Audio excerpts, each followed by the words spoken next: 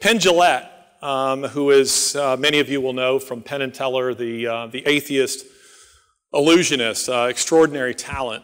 Um, he posted a video blog, which you can find, and you should watch it. It's, it's terrific, and I found it very deeply convicting. Um, it's called uh, Penn Jillette Receives a Bible. And he tells a story of a man who waited after one of his, uh, his shows to present him with a Bible. And Jillette said this He said, You know, I don't respect Christians who don't proselytize.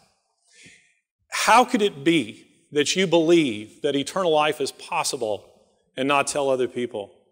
How is it that you could believe that hell is real and not warn them?